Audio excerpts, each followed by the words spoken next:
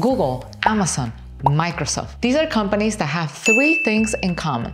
They started in a garage, they're tech companies, and they are successful. Today, we have a similar story, although not quite the same. This company did not start in a garage, but it did start in a basement. And it has nothing to do with technology, but rather is 100% dedicated to real estate. But something that this company have in common with these ones over here is that they seek to provide the best possible service for their customer. In fact, they have even done projects for the White House, which makes them very successful. The company specializes in working in those areas of your property that nobody wants to do work in, but that everybody needs. And those are bathrooms and kitchens. And they do that by drilling and cutting stones. Today's episode it's very special for me, not only because we get to talk about real estate and creative ways to make money in real estate, but it's because I have two special people, very special people. They're actually very close friends of mine and we've known each other for 15 years and I'm actually very glad that they were able to agree to be on an interview with us to share everything they do, everything from the creative process to the delivery of their services, their product, to make properties stand out. So without further ado, let's just welcome our guests. Nelson, Clara, welcome to our channel. Thank, Thank you. you. Thank you for having us, Lucy. The pleasure is mine. And um, I know I've known you guys for a long time, but our viewers don't. So how about we start by sharing where you two originally from? How do you guys meet? Uh, so that way they get to see who you are as a person. Well, we um, both originally from Colombia, but we met here while uh, going to college. So we came to the States. Um, I came 94, you came 95. And, um, you know, like any other immigrant, uh, you know, we came in learn the language, um, you know, just better our lives. And, um, you know, we had uh, just regular nine to five, you know, poor jobs. And at the same time, you know, we, um, I was going to a college to learn English. Once I did that, then I studied business. Um, and during this time also, I had the idea to start our business, Artsaics. And, um, you know, pretty quickly I realized that I just couldn't do both. So, um, you know, I ended up um, dropping college, and um, uh, and around that time is, is when I met Clara, um, and uh, we pretty quickly started dating, and and she's been a big part of why I've been able to achieve what I have achieved because uh, she's helped me uh, tremendously. Yeah, as you can see, we're both from Colombia. Uh, we have our heavy accent. uh, but yeah, we met here. It's been it's been a journey. It's been fun and it's been challenging. Us as immigrants, it's, it's never been easy. It was very difficult. It is getting easier now. But um, yeah, thanks to destiny or uh, whatever you want to call it, we met. We got together. We got to know each other we believed in each other and we made this business happen. Just by it sounds easy but it was just by working hard believing on his art him believing on me and putting all that together with years and patience and, and opportunities that this country gave us uh, we made the uh, tile business Zayx happen. So a lot of homeowners uh, real estaters could use it and enjoy it and live with it. And so the whole concept of Artsaics, so we're merging art, we're merging creativity, and that you couple with stones and and and pieces uh, that you put together and create art, and then you put it into people's homes. Mm-hmm. How did you come about with that idea? How did that all of a sudden just, oh, I think I can make a living by doing this? How, how did that happen? So basically, it, it's, it's been a, um, a number of steps. Of uh, steps, I will say more than steps, is just been a number of destiny, you know, happenings that brought us to this point. Back then, when um, you know, like I said, I was going to college, and um, I came up with the idea of, of creating mosaics. And the, the, the reason why I came with this idea is because I, I was working at the time as a salesman for a tile store. So I was introduced to design, art, uh, stone, and pretty much the industry. What's funny is the reason I got this job is because before that I was looking to just better myself, and I got a job as a, a, a for an electronic company. And my first day going to this place, my car broke down, so I never made it. So because of that, I basically you know never got the job. They didn't give me a second chance, and then I got the job at, at, a, at a tile store, and that's where opened my eyes to. Um, all this new industry. Um, but besides that, I you know I've always been pretty artistic. I always painted, drew. I did sculpture, ceramics. So I've, I've done a number of things. So when I saw the opportunity of just just uh, what, what this product was and, and the, the necessity in the industry, just there was basically like nothing available that you know combined art, stone, and all these different mediums for the home. I basically took the idea and with the help of my wife, back then my girlfriend, which is pretty amazing, um, you know, we were able to uh, just just get it off the ground and, and, and just made it to, you know, what it was then, what it is now. Yeah, uh, back then, for some reason, we, we immigrated to this country. We started seeing the uh, real estate business. We started realizing how important it is to have a house, how beautiful it is to have a house. Uh, at that time, at that age, it seems impossible. You think, oh my God, I will never have a house. But we saw like the whole culture runs Center around, in the house. Center around buying a house. I have to have a house. And it's beautiful and everybody deserves a house. It's, it's, it's your home. So we saw that and we, with his experience now with the tile and now his artistic inspiration coming out, he said, put this product together and make it happen, make it go to people's homes. Make it be part of their, their walls or their floors or the um, fireplaces even. And we saw it.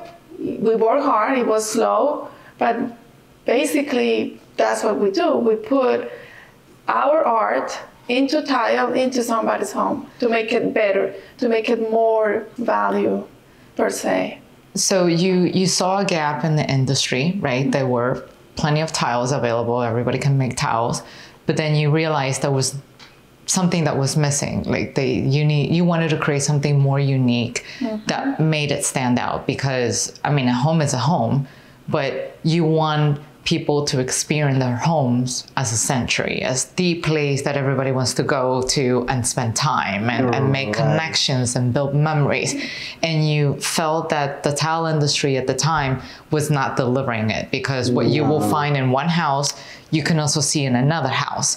And what's the fun about it, right? Like you wanted to make something that will stand out, not only to have it as a conversation piece, but also to make it more valuable. So, in the event that if people were to choose to sell it, or if people will decide to go into the industry just to flip homes, that you will be there helping that contractor, that builder, make the house stand out in front of their competition.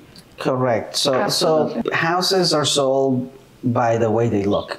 So a nice house obviously is going to get a, a quicker offers, better offers, and and our product definitely helps beautify the home. And also something that we saw pretty early on is that, you know, kitchens and bathrooms they're they're treated different here. They're they're living spaces. They're they're spaces that that, that are used for you to hang out, to be functional, to be fun. Yes. Um, a kitchen is not, not it's not just to cook. A kitchen is to spend time. The same with the bathroom, and and we kind of took that approach and and took it to another level by creating art for these spaces. And so you came up with this idea, you saw a gap, and then you created the opportunity for yourself. Tell us about the beginning days of Artsaics. How was it like for you guys? So it, it's definitely been a struggle. It was a struggle. It hasn't been a struggle. It was a struggle. Um, when I started doing tile designs, I um, I started doing it out of um, one my bedroom apartment, which I share with my mom and sister. So uh, I had a tiny little space, and, and I had this little machine that I bought in Home Depot for $100, which was loud. So uh, I, I used to lock myself in the bathroom, uh, and I cut it out of the bathroom because the noise. Um, and I did that. I made little tile designs, and um, I showed it around, um, and, and people liked it, liked it a lot actually. And I started getting uh, jobs. Um, so I started going around to other people, and I, I ended up with uh, one client specifically. Um, I walked in there, I was just not dressed for the meeting. I had no business cards, I had nothing. I just walked in with uh, this tile piece that I have made, and the guy has never seen anything like it. So he started asking me questions, you know, my background, how did I come up with this? Um, two days later, he calls me with a sizable job. At the time, it was five thousand dollars, which that was the money that I was making in three, four months. So he gives me this order, and uh, I was just panicking. Like, how am I going to deliver this? So my wife, Clara, then my girlfriend offered to um, use her basement. So she was cutting for me tiles out of her house on her spare time because she had a full-time job. So she was doing this at nights uh, and weekends. And she was bringing me bags of tiles already cut into little pieces. And I was uh, doing it on my free time, which was nights and weekends um, to, to ensemble, um, you know, this particular job. And I recruited my aunt, which she's never worked with, uh, you know, Tiles. tile in her industry. She's an accountant, um, and, and she loved it. Um, and at the end of the day, the guy, the customer was extremely happy, um, and, and he loved the product, he loved the service, and he supported us from that day on uh, for a very long time. And I will say he was one of the reasons what um, you know that, that we came what we are because he from day one he supported us quite a bit to the point that I had to start cutting back in days on my job. Clara had to start it, you know, the same thing, just cutting back in days, and and we moved to her basement. We moved to actually it was my sister's basement. Right. It was my sister's house, and she was kind enough to lend it to us for a year. We worked there for a year.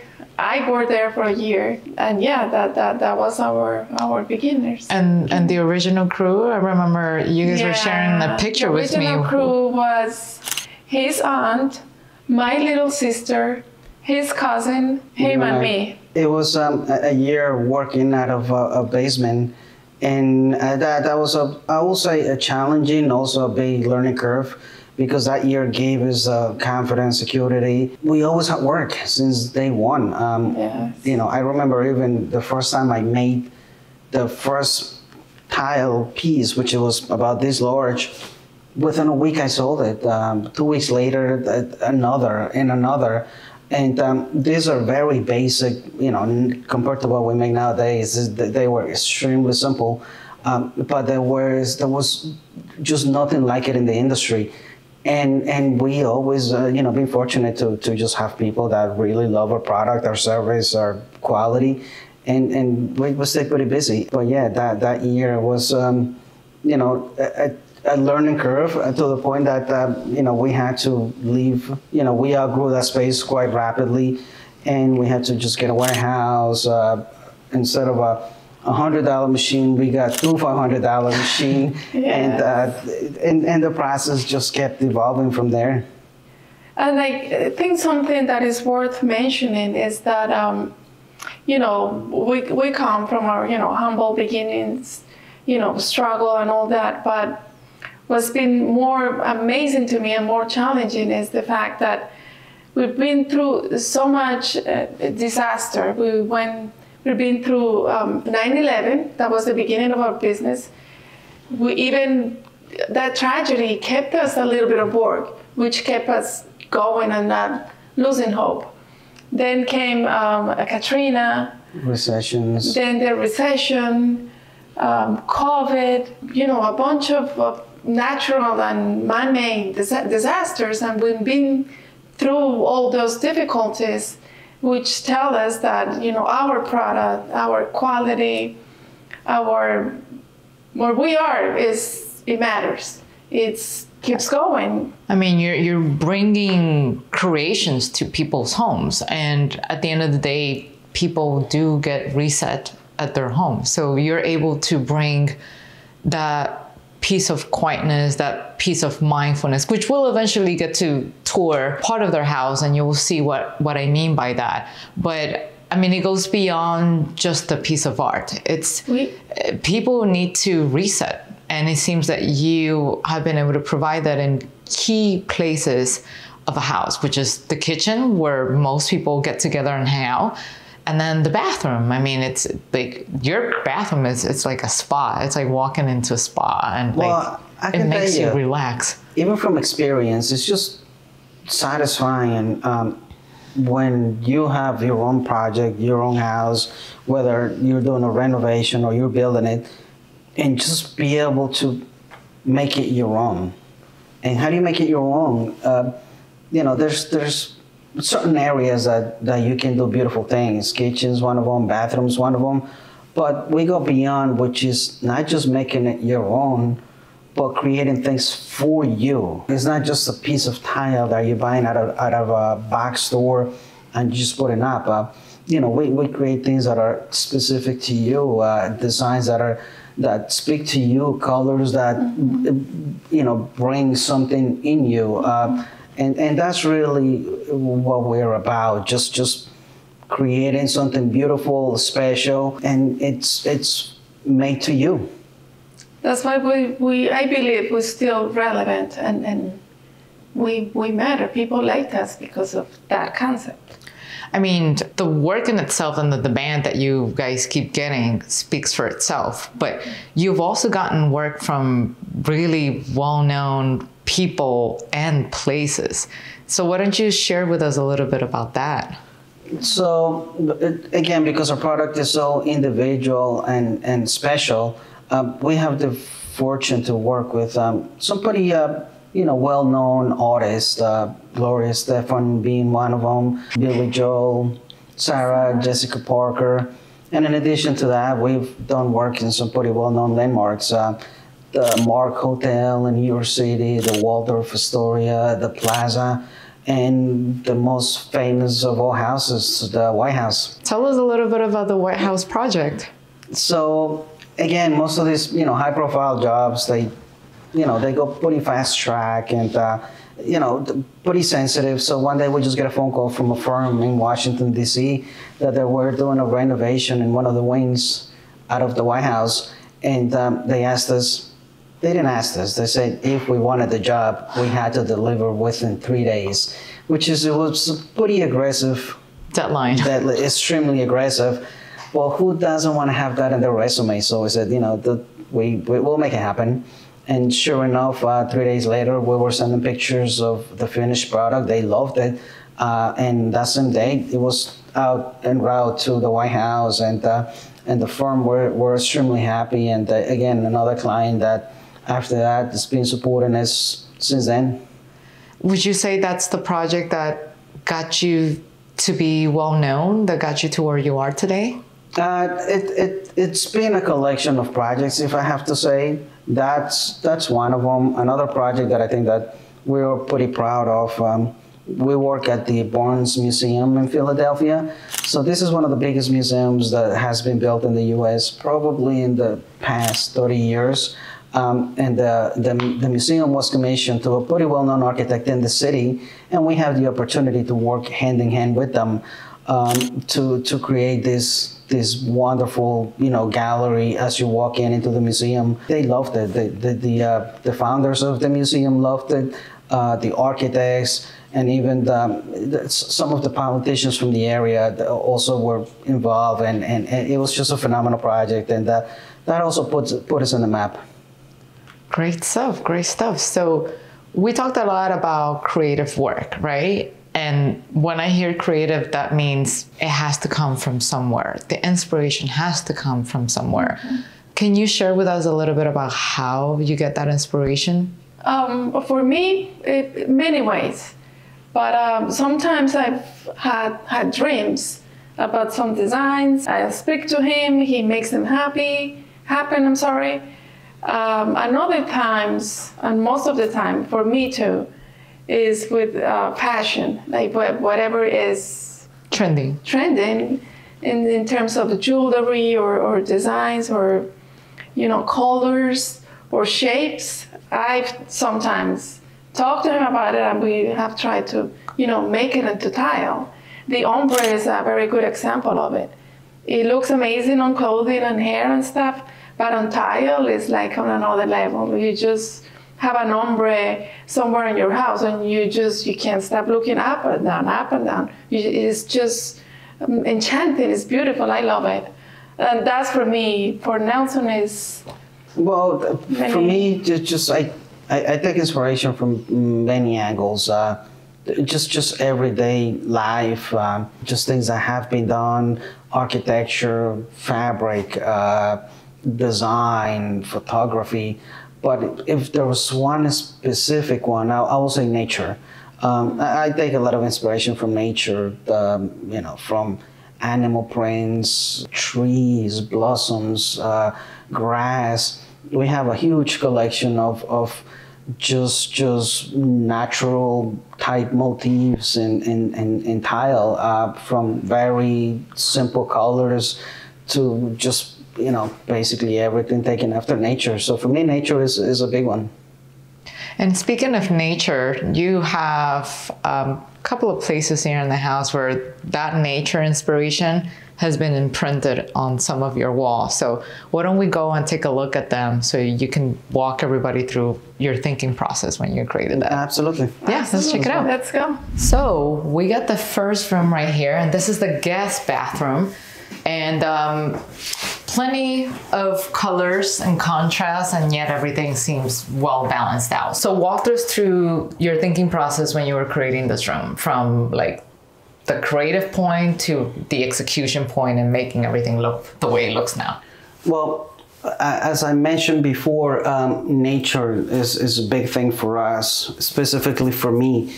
Um, you know, we we take a lot of uh, ideas, concepts from nature, and obviously, right here, you know, we have um, this particular mosaic, which is it's a lotus flower, and you can see the movement as it travels through the water and the different variations in color, shapes, um, and and we're just not afraid of um, using contrast and different materials. You know, we have glass, we have uh, porcelain, we have stone, we have brass, uh, crystals, uh, black panels. So, but it all together, you know, makes sense. It's cohesive. Um, you know, you have the same colors here playing into here, the same blacks playing onto the floors and and that's what really you know brings everything together and and just we're not afraid of, of using color and contrast um, as you can see And not just that, you also play a lot with sizes. We were talking about it yesterday because from far away, you can see a big lotus flower. But as you start zooming in, you start seeing little pieces, which is the essence of what our mosaics is, right? So you play with patterns, you cut little squares here, but then you have little sharper shapes, and then you have some curves here. And then Glad also talked about the ombre effect, which starts from this very light color going all the way down to darker colors, or vice versa. And then you bring that ombre effect into the flower in itself as well, because you start very light here, but then as you're going in, now you have darker tones too. So kind of like a lot going on, but then not a lot going on. When you zoom in, it looks like it's a lot, but then when you zoom out, it's very well balanced and, and simple at the same time. right that's the idea you know and um, everything you know has displays contrast color variation different materials that's really what makes a room And um, we were talking about earlier, it's not just about the art as well. It's also about giving your personal touch. You mentioned that sometimes your clients are actually afraid to be who they are because they're too afraid to put their personal touch in fear that the next buyer might not be interested. But that shouldn't be the reasoning why they will want to bring a piece of art like this into their house. No, no. We, we believe that when you design your space, your house, your bathroom, it's a reflection of you. So whatever that means, if you want to do color, want to do contrast, you want to do pattern, it, it's okay because this is your space. This is not only is a big investment, but it should be the space that you go and, and, and you feel comfortable. You love staring at whatever you created and, and, and just, you know, don't worry about the next buyer. The, let them worry about what their situation is. Just you do what you like. Right, and and just to make it clear, you guys chose the lotus flower for your bathroom here, but that's not the only thing you do. Like the your showroom has plenty of other different patterns from butterflies to squares to I don't know, a fish, like you name it, right? Like that's the beauty of what you create. Whatever your customer want, you can make it happen right. as long as it speaks to them. Yeah. Um, in my case, um, I chose the lotus flower because of the meaning, what it means to me. If there's no mud, there's no lotus. And we've been through so much through the years, as we said before, you know, the war, 9 11, um, Katrina, the recession, the crash, everything that happened to us as, as people and as business owners. But re- nevertheless, we would always flourish. We always try to make and it this is what happen, and that's what it represents to me. So again, um, as a homeowner, I don't think we should be afraid to put what we like, what we what speaks to you, what speaks to you, and in in for people could be a circle, a square, uh, an animal, um, lines or a print or whatever it is. I feel that we should not be afraid to put it in some part of your house and just you know I mean, enjoy it and you know make it live with it make it part of you to represent you and you know just look at it every day and you know be proud of it. And if it serves as an accent even better right? Yes absolutely. So you have another room um, upstairs yes, that upstairs. you want to check out so let's just see. It so now we have a much bigger room here Definitely a lot of contrast, but yet it feels very balanced at the same time. You're working with patterns, certainly. You have those flowers, not a lotus flower, but a different kind of flower. Sizable, but at the same time, when you walk in, you see a lot of stuff. You see curves, you see golden tones, you see white, you see gray, curves. So once again, our harmony, right? Right. So what we're looking for is is that one element that makes the room. In this case, is this wall. Um, and, and the reason why it makes it is for one, the color. It has a lot of contrast. Um, it's got contrast within the, the, the, wall. You got the white flowers, you got gold, but it not, it's not just that. Uh, you know, when you look at the entire room, you have all the elements playing together. You have gold, in the floor. Um, you got you know all the shower heads that are gold. Um, you got white and the bathtub, and then here, yep. Right, the faucets and everything, but it all works together. Um, so and and that's what we always like to approach. Uh, you know, pretty much every project what does it make what, what, do we need to do to make this project and usually starts out with an accent and everything just revolves around that so everything in this room was designed around this wall and you're also telling the audience to not be afraid to play around with patterns right because if we look at this pattern right here which is pretty sizable then we got that smaller one over there and then when you look up you have another bigger one and then you come here, there's plenty of curves over here, but yet everything else balances out and it looks very harmonious. So that seems to be the trend uh, so far with the two rooms that we have looked. Well, that's we as a company, as an as a designer, that's what you know always look for. Uh, not not to be afraid of using materials, color, scale, patterns. Just just combine different things together. Um, you know, when you have a room that is all the same uh, color, the same everything. It's just boring, and, and I don't like boring. I like fun. Yeah, and we also try to make uh, make big pieces um, in the shower, so it doesn't look as busy and crowded. It's more clean. It's easier to maintain. It's even cheaper to to make. So yeah, we try to, as you said, combine all these uh, different possibilities, but definitely big pieces of tile in the shower, And- shower walls. And I think size is what makes you guys, I mean, aside from the creativity, but you mentioned that there are a lot of companies out there who also work on mosaics, but they tend to work with one size in particular. But then you work with a wide range and a variety of different sizes that allows you to create those type of patterns that are pretty unique. Uh, Right. So so we tend to work with larger scales. If you see these flowers are not little, neither one the, the ones downstairs they were they were big. Even this floor pattern is big.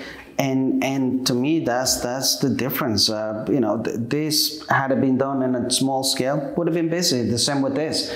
Had this room been done on a that this pattern be done on a, on a smaller scale, it just is not the same. So so scale and, and contrast. Just just don't be afraid of, of mixing big patterns, bold colors, black, white contrast. That that's really what, what makes a, a space. So these are the bathrooms, but what about the other areas of the house? I believe you guys wanted to show us the kitchen, right? Kitchen, Yeah. Yeah, let's take a look. Check it out. So now we have the kitchen.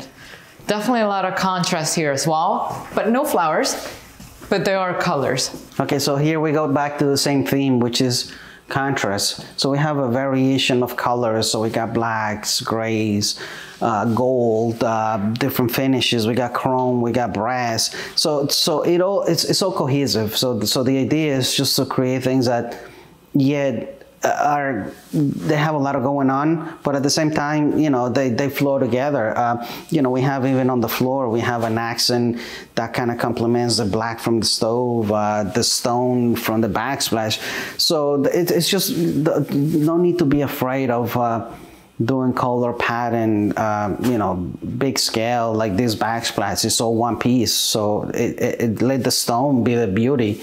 Um, and um, it, it's, it's just, it, when you combine different materials, different colors, it works together. And I mean, the quality of the looks, I mean, from what I see, and the demand that you keep getting from your customers is definitely speaks for itself. Uh, but for those who actually don't know you, like how can they get in touch with you? How can they appreciate more of your work? Well, we have a lot of um, images and examples of our work in Instagram. We also have a website, and uh, we have um, a location here in Long Island, which we have our factory and showroom where we have a lot of different things up on display. Well, there you have it. So if you have some free time and you happen to be in New York, the link to their location is down in the description below. And if you happen to be far away from New York, there's still Instagram and the website for you to check their work out and, um, if anything, get in touch with them. Clara, Nelson, thank you so much for your time today. Thank you, Lucy. Thank you For having us. Thank you. Bye bye.